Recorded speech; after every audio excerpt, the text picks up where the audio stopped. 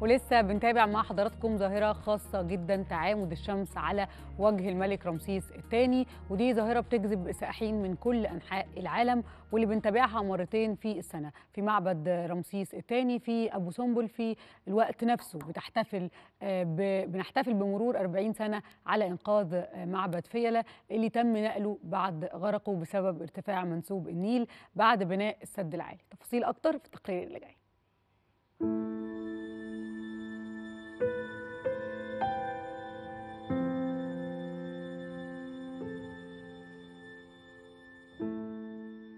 من جديد تشرق شمس الحضارة لتتعامد على وجه الملك رمسيس الثاني بمعبده الفريد بأبو سمبل.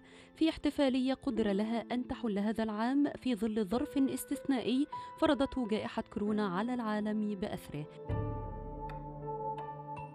إلا أن مصر أعدت العدة لتخرج الاحتفالية السنوية التي تستقطب الآلاف من السائحين للنور.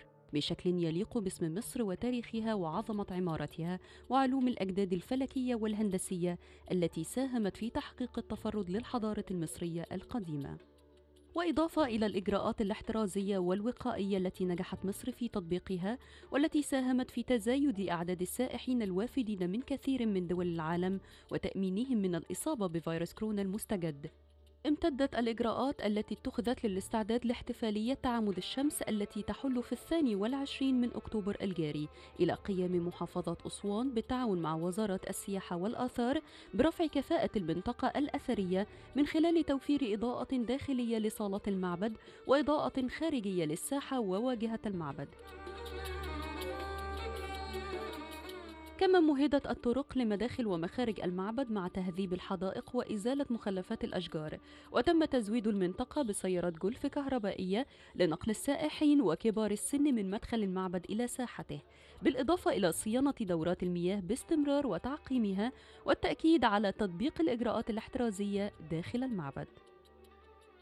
وخصوصية الاحتفالية هذا العام تتمثل في تزامنها مع ما ستشهده أسوان من الاحتفال بمرور أربعين عاما على نجاح عملية إنقاذ معبد فيلة بأسوان والتي قامت بها البعثة المصرية الإيطالية ضمن حملة إنقاذ معابد النوبة.